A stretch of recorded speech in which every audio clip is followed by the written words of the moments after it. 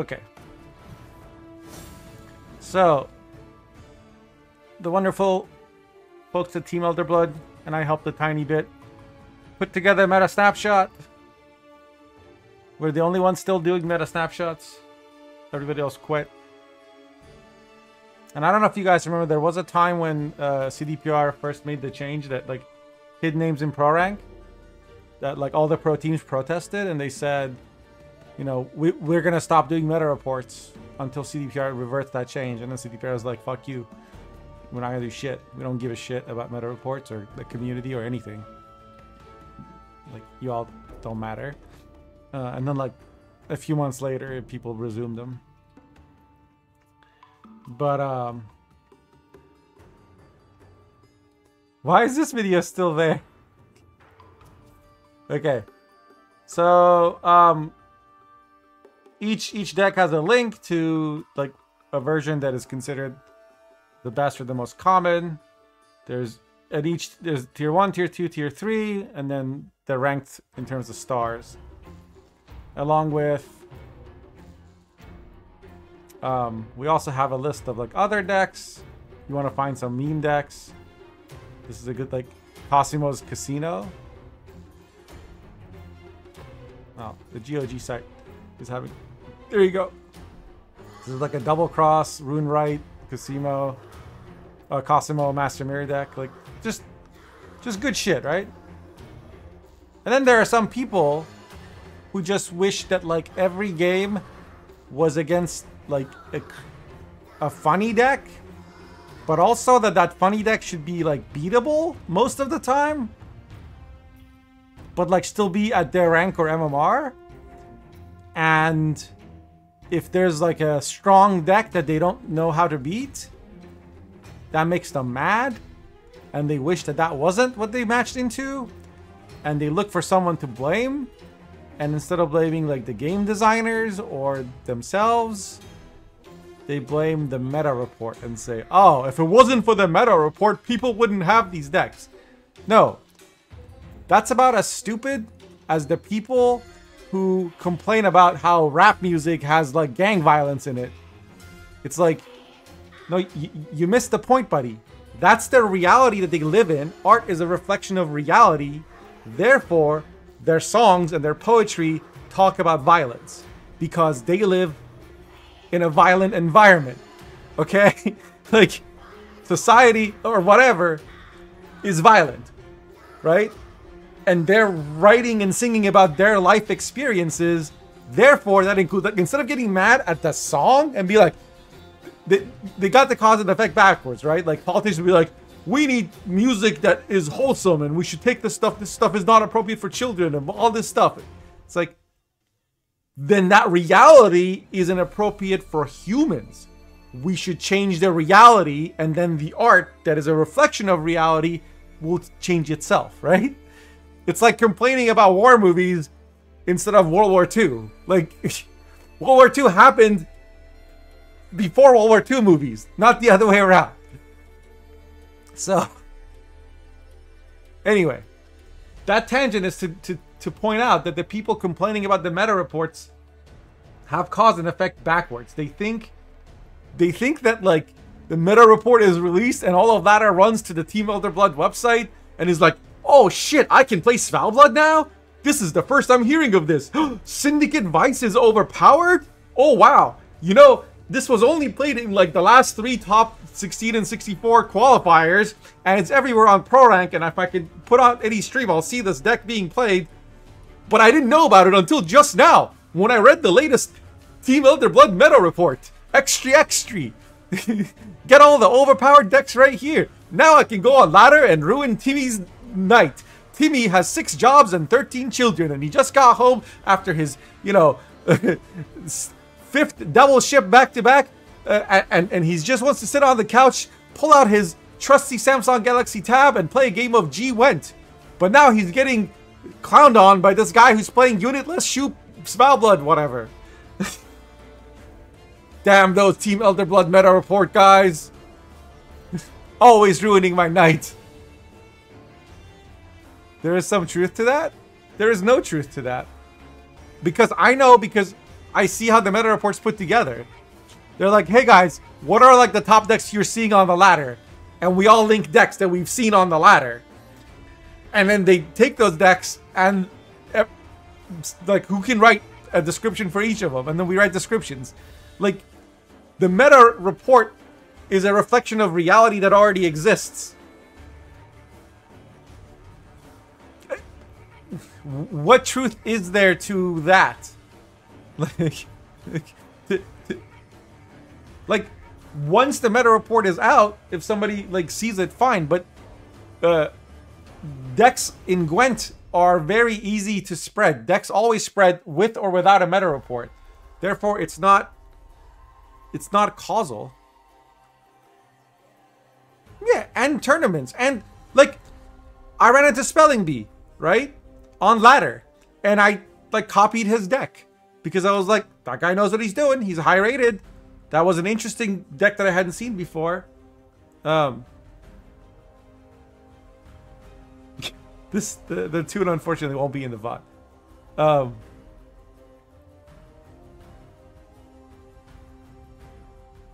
Okay, now I'm getting distracted. What was I saying?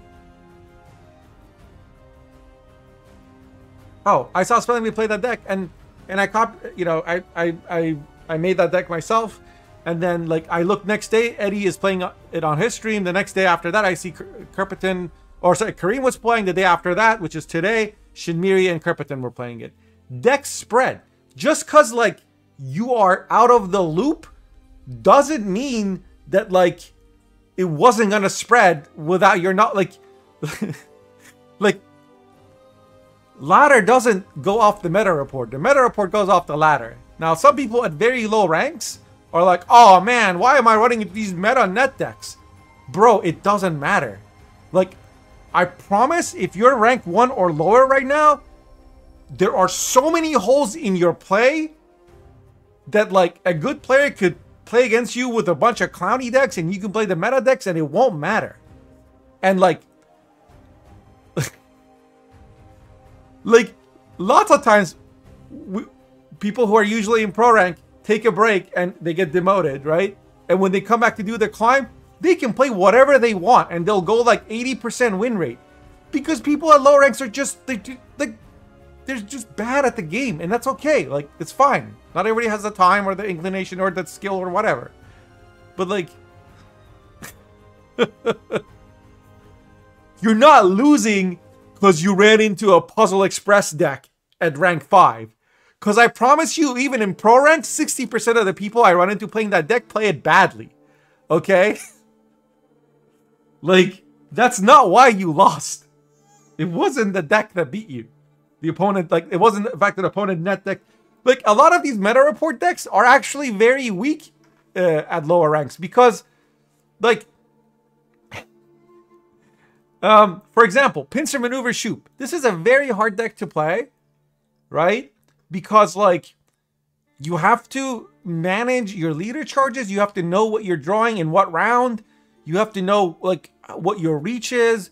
You have to know which options to take in every matchup. Like you have to recognize the opponent's deck and be like this is Arrakis I'm gonna take Drog, right? Or like this is such and such. They have COC, um, and I can't get last say, so I'm not gonna worry about playing Mutagenerator because my Erlin's gonna die anyway. Or I'm gonna do something else to take advantage of my boost, right? Like there's just like a million different paths you can take with take with a deck like this. That like I don't even recommend people play this deck uh, uh, at at lower ranks. Like, and some decks are fine at lower ranks, right? Like this is probably easier to play at lower ranks. Why? Not because it's a dumb deck. It's not. It takes plenty of skill. It's just that like it has a lot of raw points. And a lot of times at lower ranks, just having points wins you games. Like people just don't. Anyway. Random Shillard against the fruit stack. Yeah.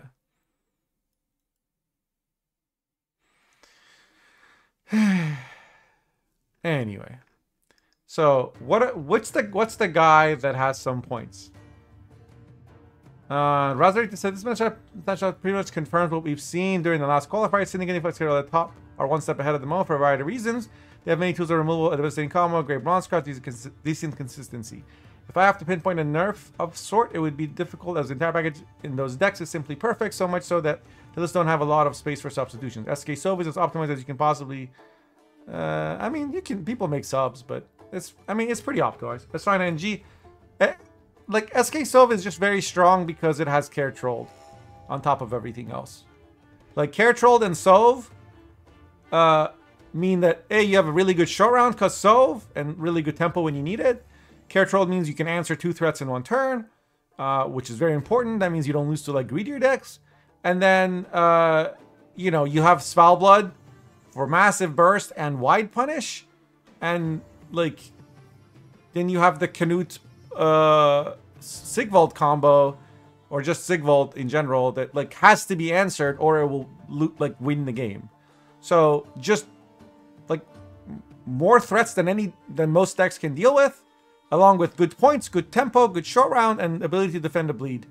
Like, which means that even from blue coin they can lose on even and, and win plenty of most of their those you know a lot of the, the times even if they lose on even they can still win the game like you can nerf it in any number of ways you could nerf Sov, you could nerf Sigvald, you could nerf Care Trolled, right?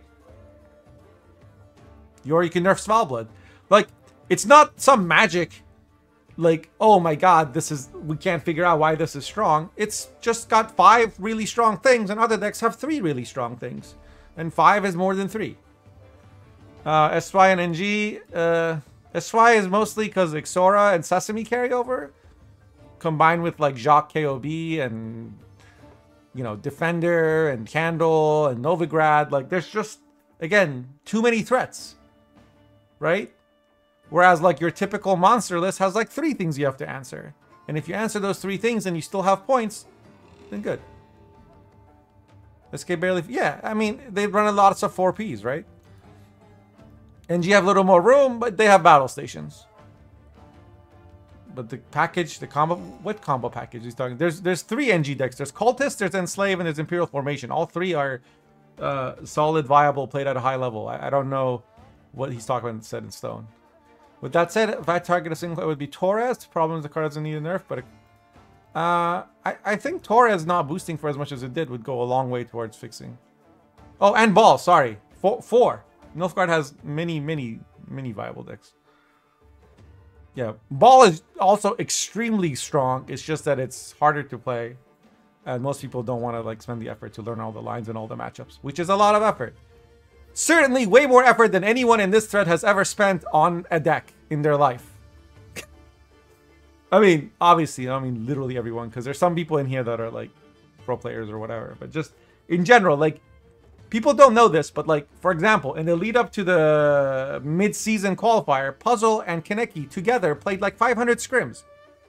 Just the two of them against each other. They played like 500 games. Like you understand? Most of you don't play 500 games in a year. Okay?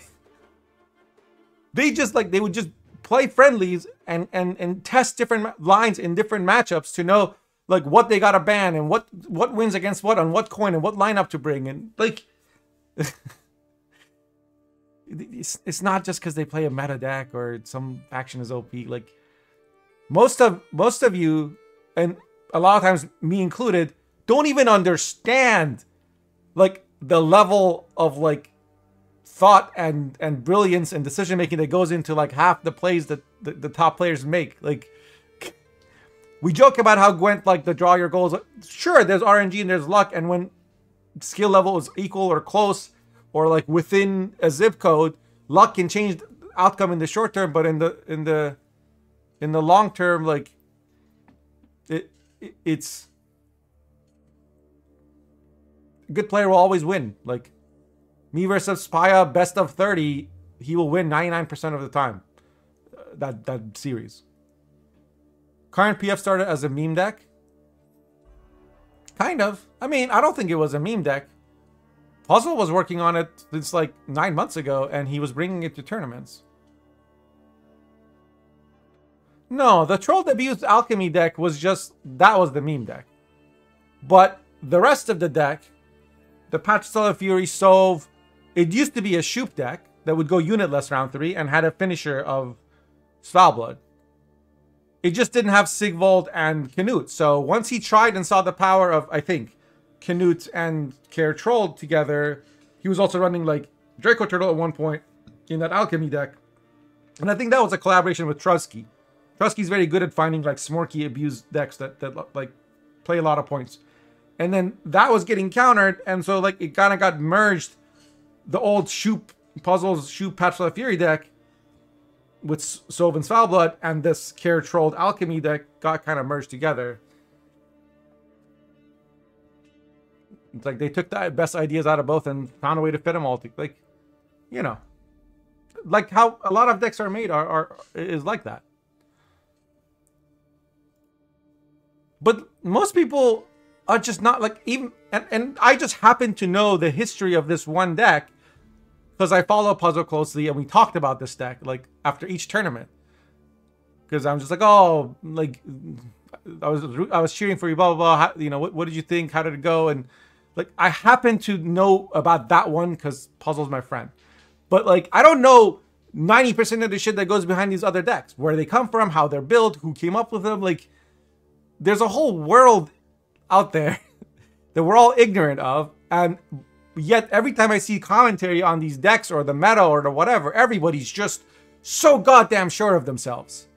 They just know. Like they just know everything. Oh like just pontificating. Like speaking out of their ass. Like it's just if I have a point to make when I do these Reddit reviews or whatever, it's that. Y'all know nothing, but you don't know that you know nothing. I also know nothing, but at least I know that I know nothing. That's my point. I would like to see some more humility and display of the fact that, that you know nothing in these in this in these comments.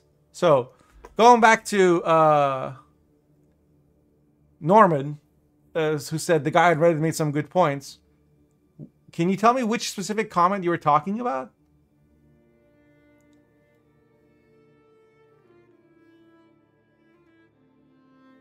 Look how 50% of tier 1 and tier 2 is NG and they all have very easy difficulty. Um, honestly, the difficulty is subjective. But like, I wouldn't say Enslave Assimilate is easy. It's just that it's been around forever, so people know how to play it. I would not call this easy.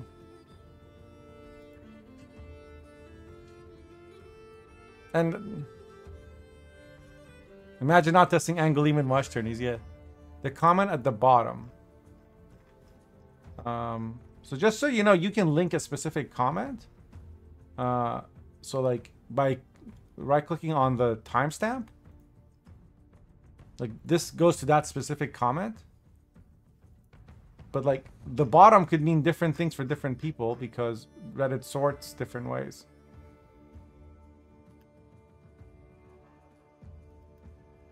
So no changes from NASM for monsters. Oh no, for the meta report? Yeah, and honestly a lot of it is like we're just tired. The hidden ones? Beneficial leak? Oh, I wish you never did these. Some will thank you, and obviously if you hadn't produced them, someone would have. But telling people how to build meta decks in, in a deck crafting game defeats the point of the game. Uh, maybe for you, and in that case, you don't have to look at it. Has Exast some truly awful metas? No, it hasn't. Like, you can see what cards your opponent plays. As soon as somebody plays a deck, it will spread. It's not spreading via the meta report. Which said the death of the game? No, it hasn't. The death of the game is happening because CDPR is dropping support. And part of that is because of terrible, terrible business decisions. And part of that is because of factors outside their control.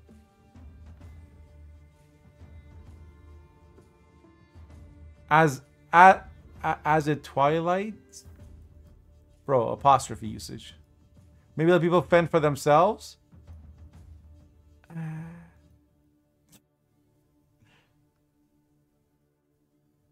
Like, you think that all of us being worse at the game is good for the health of the game? Like, every healthy game involves people sharing and collaborating and competing and cooperating and like building decks and then other people building decks to counter those decks. Like, that is called a healthy meta. That is the definition. If like nobody shares decks and everybody plays unoptimized shit piles, that game has already died. Like I promise you, that means that no one's playing the game. Like if everybody's isolated, like that. Some people enjoy deck building. I'm one of them. Some people don't. Like what you really want is custom lobbies where you can play like with whatever rules you want and not run into try hard, no fun allowed mid-range piles that answer everything you play. And I'm sympathetic to that, but the answer isn't the pro teams not publishing a meta report. And like I don't I happen to not have done almost anything on this meta report. And I'm just a guy who plays on pro rank. And I can look at every single one of these labels and go make you the deck right now with like 80% accuracy. Like card, you know, like 80 to 90% minimum like accuracy for all the cards in all these decks. Because I've just seen them so many times. Years. Like this is this deck is like a year old, a year old, a year old. Like a lot of these are even older than that, and then just some little bits have gotten changed. Like the meta report isn't where people are getting these decks from. And like even if there was no website or spreadsheet or streams or no one to talk to about Gwent and Gwent was a single player game, wow. If the only way, the only way this person's personal fantasy of a card game would come to re- uh, reality would be if uh, Gwent was a single player game and the internet didn't exist and we all lived on islands by ourselves. Like, I don't want that. like, if, if that's what you want, like, I don't know, go play chess against the AI and never read a chess book. Yeah, yeah, Kareem, don't get me started on the versions of these meta decks. I sometimes think that, like, uh, the, the guys that put together the actual deck links put in like decoy cards just to spot net deckers. Like, I have not seen this exact variation played by anyone. With Bincy and Morelson No Jr. Like, I've never... And Payday. Like, the Payday is the most sus thing I've ever seen. Like, what... What... What... How did this... Like, why is there one Smuggle, two Bloody Good Funds, a Jacques, a Paid... Like, the Payday is, like, just sticking out like a sore thumb. Like if you're not playing junior, maybe you're playing tunnel drill, right? But but it's I don't know, maybe it's like anti-cultist or something. Um to kill a deacon, but or like the enslaved version that was actually uh the screenshot shows Angoline. Yeah, it says Devo and then okay, they, they just took the Devo out from the title. It wasn't supposed to say Devo. And you need Angoline because cultists and because Carrot trolled. Yeah, net decker bait. Like, uh, on ladder, I'll see somebody play a specific card, like, oh, they got this from the TEB report. I don't know. This is actually the Miamon version. No, except, does Miamon play Arbalists? I'm not sure if they do. This is dumb card.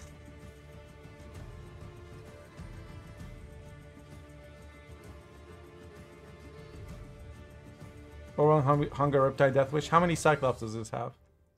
Like, that's the only question. Okay, this is the Siegfried version, so this is what Kareem played. But not everybody plays Siegfried. Some people play Abaya or, or uh, Dorregaray or Cyclops. But that's it. Like, the rest of the deck's been the same. It's been the same since the one season after uh, Red initially made the list uh, with with Egern and Ozzrel and Aerondight. He didn't have Dol Doldulok and Succubus. He had um, the 5p damage a whatever necrophage. I don't, I don't remember. Anyway, he made that deck the next season. People switched to this, and and that's it. So, like, th this isn't like a harmful comment or anything. Uh, the person's like respectful. They obviously like I don't think they deserve 32 upvotes. They're they're they're bringing up a valid comment. They're really wrong, but that this is the problem with Reddit's upvotes and downvotes, right? Up and down should not be you agree with this or you disagree with this. It should be this is helpful to the conversation. This is not helpful. This is a helpful comment. It's just we also want a way to say I agree without replying I agree. So we, so we need like we need four things. Like, you know what I mean? There needs to be like I agree, disagree, and then like you know, helpful, harmful. They're just two different axes. They don't have anything to do with each other. But like this is this sparked a good discussion, but it was all hidden because people disagreed with it. Mostly because people are saying, no, I want these meta reports. I am someone who doesn't talk to the pro players or in, in pro rank. I have limited time and I just, or I just came back to the game and I just want to see what where things are at. Maybe I want to see what decks I'm going to run into on the ladder when I play my own homebrew pile. So,